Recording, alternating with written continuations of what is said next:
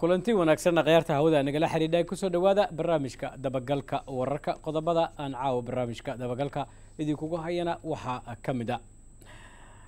Ra'iisul wasaaraha soomaaliya maxamed xuseen roble ayaa maanta magaalada muqdisho ka furay shirweynaha qaran ee looga hadlayo gurmudka abaaraha kaasi oo ay ka qayb galeen qeybaha kala duwan ee bulshada siyaasiyiinta ganacsatada iyo xubno kale. Shirkaas ayaa diradda lagu saarayaa muddada uu socdo sidii loogu gurman lahaa dadku abaaruhu ay halakeeyeen ee soomaaliya ku nool. Falanqeyn iyo warbixinno ayaan idinkaga soo tebin doonaa qodobkaasi. Qodobada kale waxaa ka mid a guddiga doorashooyinka ee heer federaal ayaa saddex ka mid ah kuraasta baarlamaanka ee lagu soo doortay. Koonfur galbeed iyo hirshabeelle habraacyadii loo maray ku tilmaamay mid aan sax ahayn islamarkaana joojiyey. Haddaba maxay tahay habraacyada qaldan ee lagu tilmaamay saddexdaasi kursi natiijooyinkooda ama habkii loo maray doorashooyinkooda ee guddiga uu ka hadlay. Barnaamijka ayaan falanqeyn arrintaasi ku saabsan idinkugu soo tabinaya qodobada kalena waxaa ka mid a. Magaalada qaahira ee dalka masar waxaa ka furmay shirweynaha looga hadlayo xaaladaha waddamada carabta kaasi oo ay yeesheen baarlamaanada jaamacadda carabta oo ay kaga hadleen xaaladaha ka jira waddamada jaamacadda carabta oo ay soomaaliya qayb ka tahay. Waxaana isla soo qaaday xaaladaha la xiriira amniga iyo abaaraha ee soomaaliya. Waxaan arrimahaasi ka wareysan doonaa rofesor maxamed cumar dalxa oo ka qayb galay. Qodobada iyo qodobo kale ayaan idinkugu hayaa u diyaar garooba mar kale iyo barnaamijka dabagalka wararka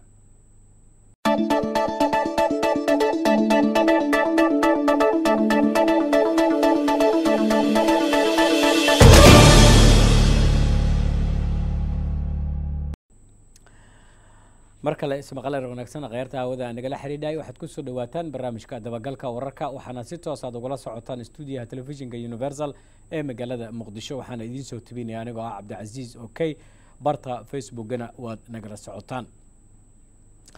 Aan ku bilaabay ra'iisul wasaare maxamed xuseen roble ayaa maanta magaalada muqdisho ka furay shirweynaha qaran ee gurmadka abaaraha oo diiradda lagu saarayo sidii loogu gurman lahaa dadka soomaaliyeed ee abaaraha ba'an ay saameynta ku yeesheen. Shirkaasi waxaa ka qayb galay qeybaha kala duwan ee bulshada maamul goboleedyada midooda musharaxiinta siyaasiyiin ganacsato bulshada rayidka culimo udiin bahda waxbarashada iyo xubno kale. Waxaana muddada uu socdo diiradda lagu saarayaa arrimaha xaaladda ka jirta dalka ee abaaraha ba'an ee saameynta ku yeeshay nolosha dadka iyo dunyada. Ra'iisul wasaare maxamed xuseen roble ayaa ka digay in abaarta ba'an ee dalka ka jirta ay noqoto mid halisa. Waxaan rabaa inaan halkan anigana ku xuso inaan ka codsado shacabka soomaaliyeed kuna booriyo inay kaalintooda ka qaataan meel kasta ay joogaan gurmadka iyo badbaadada. Dadkooda abaartu hayso qof kastana uu bixiyo waxa uu ilaahay siiyey uu awoodo maanta. Sida walaalihii ay ka dhawaajiyeen madaxweynekii hore xasan sheekh uu ka dhawaajiyey. Waxaan idinka codsanayaa dadkiina halkan jooga intaanan hoolkan laga bixin. Salaadda la aadin in uu qof kasto waxa ugu yar ama waxa ugu badan uu awoodo uu ku tabarruco akownkaas halkaa ku qoran. Anigaan ugu horeeyo intaanan bixin waa tabarrucaya hadduu alla idmo culimmada waxaan ka codsanayaa inay abaabulaan duco roobdoon ah oo ay masaajidyada iyo meel kasta ka abaabulaan ayaan iyagana ka codsanayaa. Hay'adaha isgaarsiinta xawaaladaha iyo bangiyadana waxaan ka codsanayaa inay halkudhegyadoodu ku soo qaataan sidii abaartan loogu gurman lahaa oo ay xayeysiisyadoodana ku soo qoraan accountka gadaashan ku qoran mas'uuliyiintii halkaasi ka hadlay islamarkaana ku nuuxnuuxsaday arrimaha abaaraha ee dalka ka jirta waxaa ka mid ahaa madaxweynihii hore ee soomaaliya xasan sheekh maxamuud oo dhinaciisa carabka ku adkeeyey sida lagama maarmaanka ay u tahay samata bixinta dadka soomaaliyeed ee wajahaya xaaladda abaarta.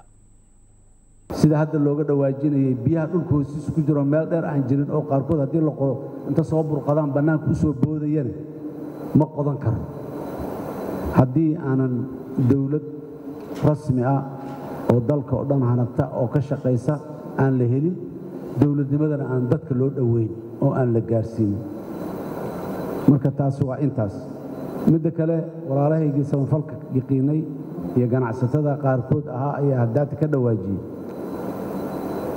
Gurmadka waxaan qabaa maanta waa fursad. Golahan aan isugu nimiday halkan inuu ka bilowdo maanta waxaan qabaa haddaata walaalkii ka dhawaajiyey dadka soomaalida magaalada muqdishona ee saddexda milyan ah. Milyan waa saas haddaan dhahno milyan kale waa saas oo intaasoo boqol waa saas intaas hadday soo harto min toban doolar isku darto lacag badan waayo. Haddaba maxaa laga filan karaa shirka gurmadka abaaraha ee uu furay maanta ra'iisul wasaaraha soomaaliya maxamed xuseen rooble arrimahaasi waxaan wax ka weydiinaynaa. Rofesor cabdulaahi maxamed shirwac oo ka mid ah guddiga gurmadka abaaraha guddoomiyin u ah arrimaha bulshada ee guddigaasi waxaana uu ka mid yahay dadka u dhaqdhaqaaqa bulshada rayidka soomaaliyeed. Rofesor shirwac maxay shirka looga hadlayaa abaaraha ee maanta ka furmay magaalada muqdisho oo uu furay ra'iisul wasaare maxamed xuseen roble? Muxuu ka tari karaa shirkaasi gurmadka abaaraha ee maanta furmay xaaladda daran ee abaarta ee waddanka ka jirta wa waa mahadsan tahay cabdicasiis waxa weeyaan wuxuu intaanaan waxuu ka taraya gaadhin horta marka hore guddigan waa guddi qaran oo ka kooban muxuu ahay xukuumadda federaalka soomaaliyeed guddiga oo bulshada rayidka iyo ganacsatada iyo culimada. Dadkaas oo dhan ayuu ka kooban yahay. Hawshaana muddaa lagu waday. Shirka maanta ujeedadiisu waxay ahayd in dadka soomaaliyeed gudaha iyo dibaddaba loo sheego in muxuu ahay abaartii ay aada u daran tahay.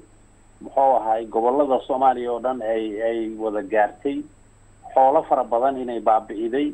Dadkii dhimashadoodu inuu bilowday dadkuna toddoba milyan ku dhawaad dad soomaaliyeed ah ayaa waxay u baahan yihiin gargaar aadaminimo marka waad ogeydeenoo waxaa aada loogu mashquulsanaa dawladda iyo saxaafadda iyo shacabka kulli doorashaa lagu jiray.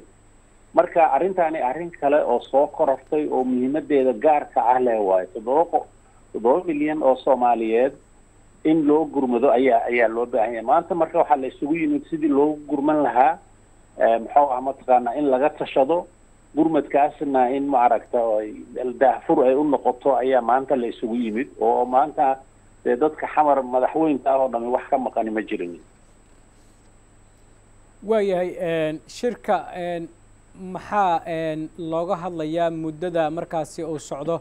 Go'aamanka ka soo baxayana ma waxay noqon doonaan kuwa gurmad deg deg ah lagu fidiyo abaarta mise waxay noqon doontaa farsamo loogu diyaar garoobayo in abaaraha dadka ay saameeyeen looga gurmado. Arrinta. Gurmad gurmad ayaa looga tashaday meesha shirka maanta waxaana la isla qaatay in dadka soomaaliyeed ee dhibaatadu haysto loo gurmado xoolaha la haysto iyo xoogga la haysto iyo caqliga la haysto la isku daro. Muxuu ahay soomaalidu sidaad og tahay caan waxay ku tahay markii dhibaata dhacdo in dadka loo gurmado waxa weeyaan abaaro badanaa soo dhacay waa ilaahay waana soo mootiyey dadka soomaaliyeedna way gurmadeen. Marka hadda waxa weeyaan waa loo gurmanayaa dadka. Wixii hanti lahaayo ayaa loogu gurmanayaa wixii kaleetana waa la raadinayaa. Marka dadka soomaaliyeed ayaa loo sheegayay inaan hadda wixii ka dambeeya aan lagu mashquulsanayn muxuu ah mataqana doorasho keliya waxa weyn oo loo baahan yahay iyaduna inay tahay in dadka loo gurmado. Marka waa waa la gurmanayaa nin qof biyo haya qof lacag haya qof muxuu wax kala haya. Dadkaas soomaaliyeed ee dhibaatadu haydo meel walba ku daadsan qaarkooda badanna xooluhu ay dhaafeen ayaa ayaa loo gurmanayaa sidii nolol loogu heli lahaa maaragta. Waayahay dad badan oo soomaaliyeed waxay isweydiinayaan deeqaha ka imaanaya waddamada qaar sida sutaga imaaraadka carabta oo saddex jeer gargaar soo gaarsiisay muqdisho sababaha dib u dhigaya ilaa iminka in gargaarada qaar ee xamar yaalla aan la geynin meelaha dadku ay ku tabaalaysan yihiin ee abaartu ay saamaysay. Ma lagu soo qaaday in gurmad deg deg ah loo fidiyo dadkaasi ee la qaado waxa iminka la haysto ee muqdisho yaalla ha hay waa waa la isku soo qaaday. Waxa weeyaan diyaaradaha hadda yimidna qaarkoodna waa la qaaday. Kuwii kalena waa la qaadaya. Maraakiib baa soo socota. Maraakiibtaasina waxa weeyaan ma dekeda xamar kaliya kuma imaanayaan. Dekado kalena way tegi doonaan. Meeshaas ayaa laga sii qaadi doonaa. Marka waxa weeyaan qorshe isku xiran ayaa jira oo muxuu ahay arrintaasi lagu amba qaadayo oo dadkana in lacag maaragta la weydiiyo la yabooho dadku waxay keenaana dadka loo gudbiyo lacag ahaan loogu gudbiyo. Wixii mucaawino oo muxuu ahay ama raashin ah ama qalab ah ama dawo ahna waxa weeyaan in hawada laga gaarsiiyo meeshii aan xeeb laga lagu gaarsiiyo aan lahayn. Marka waa waa arrin ballaaran oo muxuu ahay la rabo. Cid waliba hadda inay ka qayb qaadato muxuu ahay haddana way qorshaysan tahay diyaaradaha iyo maraakiibta imaanaya ee dawladaha aan saaxiibadada nahay ay keenayaan. Xamar kaliya kuma ekaanayaan ee waxa weeyaan dekedaha waaweyn ee wadanku leeyahay oo dhan ayay gaari doonaan haddii ilaahay yidhaah aad iyo aad buu mahadsan yahay kaasi wuxuu ahaa rofesor cabdulaahi maxamed shirwac oo iga waramayey xaaladda la xiriirta abaaraha soomaaliya iyo maanta magaalada muqdisho. Uu ka furmay shir looga hadlayey sidii loogu gurman lahaa dadku abaartu ay saamaysay ee ku nool geyga soomaalida.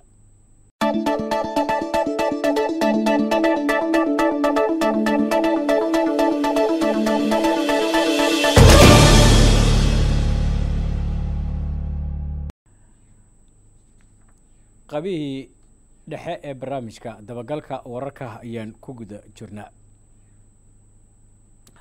guddoomiyaha guddiga doorashooyinka heer federaal ee soomaaliya ayaa maanta warbaahinta u sheegay inaanan la marin habraac sax ah saddex kursi oo ka mid ah kuraasta xildhibaanada baarlamaanka koob iyo tobanaad ee soomaaliya ee lagu soo doortay maamul goboleedyada koonfur galbeed iyo hirshabelle.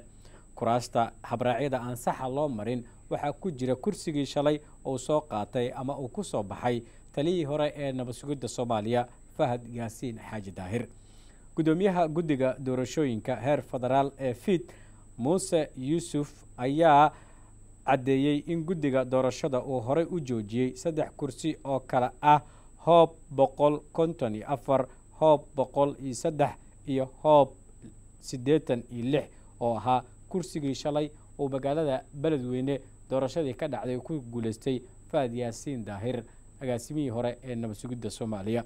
Guddoomiyaha guddiga fiid ee soomaaliya ayaa saddexdaasi kursi habraacyada loo maray ku tilmaamay mid qaldan mar uu warbaahinta la hadlayay maanta waxuu yidhi. Waxaan halkan ka salaamayaa dhammaan ummadda soomaaliyeed meel kastay joogaan kuwaas oo u jeeday ama indhaha ku haya doorashadii soomaaliya oo socotay inay dhammaatay iyo meeshay marayso rajaynayana inay dowlad iyo helaan oo doorashadu ay u dhammaato marka koowaad doorashadii inta badan way soo dhammaatay inta kaleeto oo hadda harsanna xawli bay ku socotaa inay waqti dhow soo dhammaato baanu rajayneynaa goobaha ay ka dhammaatay waxaa weeye somalilan waxay afartan iyo lixdii kursi oo ay lahayd way soo dhammeeyeen maanta ayay soo gabagabowday. Sidoo kaleeto baraawe iyagana way soo dhammaatay lix iyo labaatankii goobaha koobaad oo dhan inta badan hawsha way ka socotaa waana gabagabo goobaha labaadna banaadir baa waxaa soo dhammaatay baraawe waxaana ku jira gaalkacyo iyo boosaaso. Ayaa iyadana la asteeyey oo iyadana asbuucya asbuucan soo socota inay ka bilaabato rajayneynaa guud ahaan kuraasta soo baxday boqol iyo lixdan iyo shan weeye. Waxaa harsan boqol iyo toban kursi oo aan rajaynayno inay iyadana waqti dhow noogu soo dhammaato. Guddiga doorashooyinka heer federaal iyagoo ilaalinaya habraaca gudanayana shaqooyinkooda waxay horey u joojiyeen saddex kursi oo kale ah boqol iyo konton iyo afar iyo hob boqol iyo saddex iyo hob siddeetan iyo lix.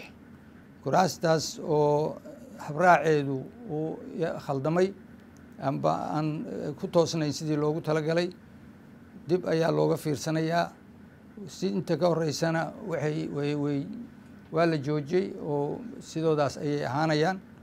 Waxaan rajaynayaa insha allah guud ahaan doorashadu inay dhaqso u soo dhammaato oo goobaha hadda weli aan laga bilaabin dhaqso looga bilaabo. Waxaan rajaynayaa insha allahu in dowlad soomaaliyeed oo dhaqso ah ay noo dhalato laba boqol iyo toddobaatan iyo shanta xildhibaan oo laga rabay aqalka hoosena ay dhaqso u soo dhammaato. Siday markii horeba konton iyo afartii aqalka sare hore ugu soo dhammaatay halkaasna ay ka dhalato dowlad soomaaliyeed. Aad baan idin salaamayaa dhammaan ummadda soomaaliyeed meelay joogaan. Waxaan rajaynayaa inaad kala socon doontaan beijajka waxaan kaleeto rabaa in caddeeyo beijkii horey u carqaladoobay guddiga inuu gacanteena ku jiro isaga oo aan wax dhibaataa aanu qabin hadda kadibna lagala lagala laga raaci doono ama laga lagala xiriiri doono lagala socon doono waxyaabaha doorashada ku saabsan iyo meelahay marayso aad iyo aad baan idin salaamaya asalaamu calaykum waraxmat ullahi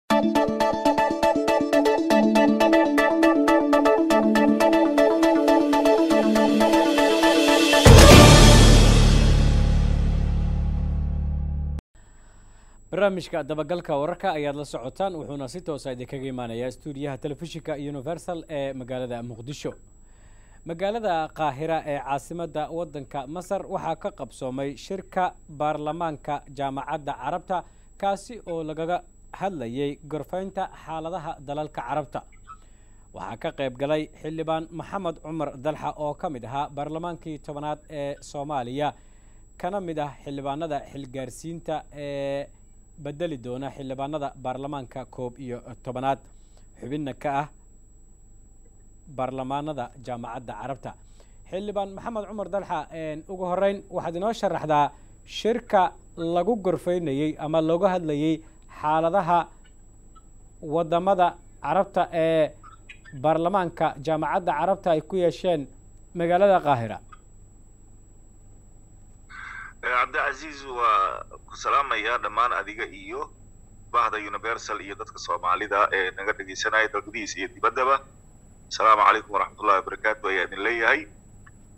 Shirka baarlamaanka carabta oo maanta ku qabsoomay qaahira waa kii caadiga ahaa ee inta badan looga hadli jiray amuuraha ka taagan dunida carabta oo laba iyo labaatanka dal ku bahoobay iyadoo mar waliba la darsayo waxa ku soo kordhay iyo waxa u baahan in la gorfeeyo oo haddii ay ahaan lahayd siyaasadda amniga bulshada dhaqaalaha iyo dhaqanka oo aan ka marnayn intaba. Marka taa ayaa maanta ay ahayd guddiga arrimaha dibadda iyo amniga iyo siyaasadda dibadda oo aan u matalaya ee baarlamaankii soomaaliyeed. Ayaa waxaan uga qayb galnay si ma aragtay rasmi ah iyadoo halkaasi arrimo fara badan oo soomaaliya looga hadlo waayahay xildhibaan dalxa ma lagu soo qaaday arrimaha soomaaliya gaar ahaan xaaladda la xiriirta abaaraha iyo doorashooyinka. Maxaase adigu aad ka jeedisay maadaama soomaaliya aad matalaysay xubinna aad ka tahay baarlamaanada jaamacadda carabta ee kulmay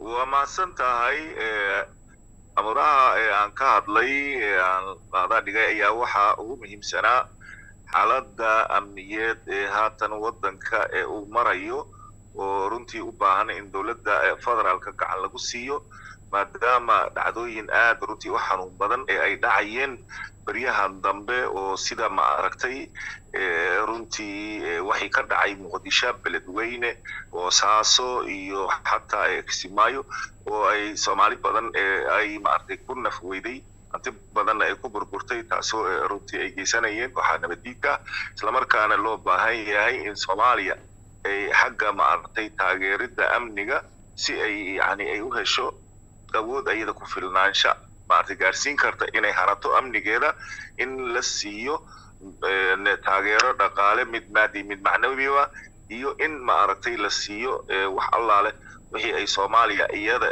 isku filnaanshahaasi oo ciidan ahaan tayo iyo tiraba ee markaa qayb ka noqon karta si mar weliba soomaaliya iyada qarannimadeeda iyo xadgudubyada kaga imaanayo jihooyinka kala duwan ee iyada ay isaga difaacdo taasi kadib haddana waxaan meesha aan hordhigay in doorashooyinkii haatan ay gebagaba ay marayaan heshiiskii ay horey u wada gaareen madaxda maamul goboleedyadane ilaa ay hadda dardar uu ku socdo ayadoo mar weliba dowladda soomaaliya ay u baahan tahay isgarab taag si iyadana ay uga soo hoyso guulo rasmi ah waddanka oo haatan uu ku jiro marxalad dowlad maaragtay cusub oo iyo maaragtay golayaal cusub ma intaba yacni iyadana loo baahan yahay in dhaqsi maaragtay heshiiskii ay u gaareen toddoba tobankii sebtembar inuu u dhaqan galo ayadoo muddo yar ka harsan tahay soo gebagabaynta golayaasha maaragtay oo horeyna kii aqalka sare loo soo maaragtay ebiyey haatana uu socdo kan golaha shacabka ah.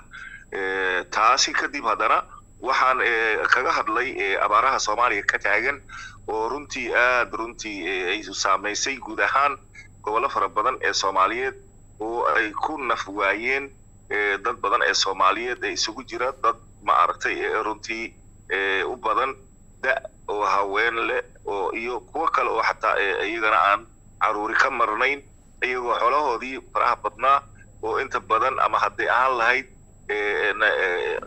xoolihii ayaga ay dhaqanayeen ama beerihii ayaga ay tabcanayeen intaba ay soo wajahday abaar aad u ba'an taasna ay u baahan tahay soomaaliya in degdeg wax looga qabto dowladaha jaamacadda carabta ee weliba haysta fursadaha dhaqaale iyo caalamkaba inay isgarabsadaan ama hay'adaha samafalka iyo gargaarka si ay ula gaari lahaayeen soomaaliya runtii gurmad deg deg oo dadkaasi ayagana lagu badbaadinayo. Mid afaraad ayaa iyadana waxay ahayd runtii xaaladda soomaaliya hadda xilli oo kala guur lagu jiro oo dowladduna ay ku mashquulsan tahay doorashooyin waxaa socdo isku dayo boob fara badan oo loo geysanayo runtii khayraadka soomaaliya ee dalka ama ha noqoto midka badda ku jira ama midka beriga ugu jiro taasoo iyadana ay samaynayaan boobkaasi shirkado waaweyn oo ajnabi ah iyo dowlado ayagoo kuwaasi isku bahaystay sidii soomaaliya mar weliba ee ayaga ay ugu maaragtay tagrifali lahaayeen ama yani khayraadka ku jira baddeeda oo ayaga ay maaragtay inta fara badan intay qaarkooda ay la baxaan misena ay sumeeyaan haatanna ay soo maaragtay ifbaxday inay soo haweystaan wixii iyagana la halmaalay waxa ku jiro khayraadka dhulka. Taasna iyadana ay tahay soomaaliya maadaama dalka carbeed dal ka tirsan in iyadana soomaaliya lala garab istaago si loo badbaadin lahaa khayraadkeeda ayadoo hadda kahor uu jiray isku day in badeedii la dhaco. Haatanna ay soo ifbaxayaan arrimo kale oo aan ka fogeyn waxyaabihii hore ee soomaaliya ay la kulantay oo ilaa iyada dacwadooda ay la gaartay maxkamadda adduunka. Arrinta abaaraha xubnaha baarlamaanada jaamacadda carabta maxay ka yidhaahdeen oo ay ka soo saareen maadaama dalalka ugu dhaqaalaha badan ay ka mid yihiin ma sheegeen in gargaar ay soo gaarsiin doonaan walaalahood soomaaliyeed ee abaaraha wajahaya?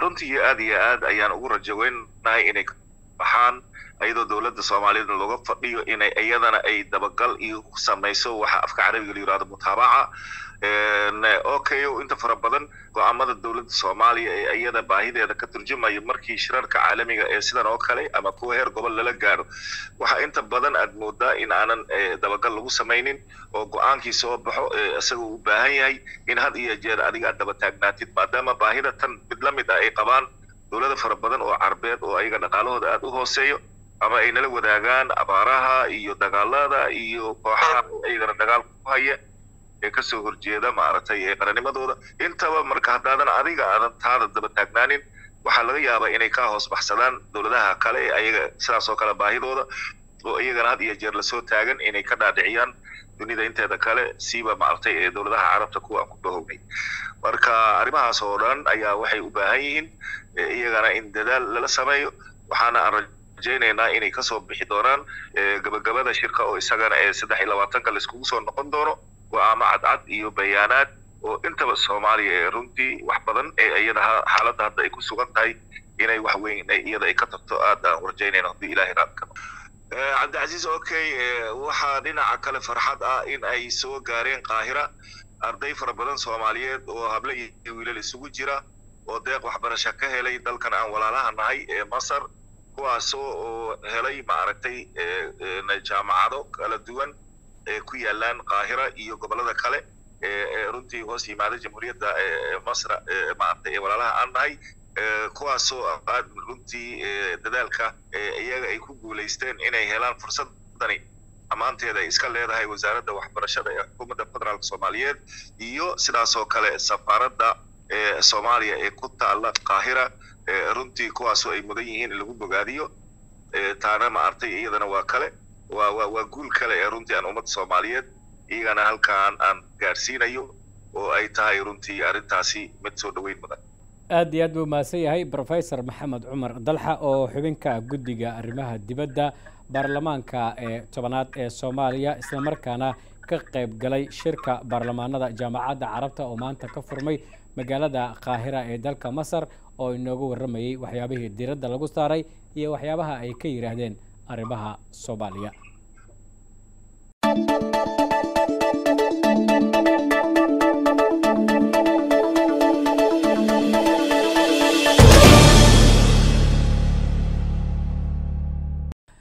intaa ayaan ku joojinayaa barnaamijka dabagalka wararka oo aan idiin tabinaya. Anigoo cabdicasiis okey dhinaca farsamada waxaa iga saaciiday cabdiraxmaan jaamac salaatan iyo kunto dambe.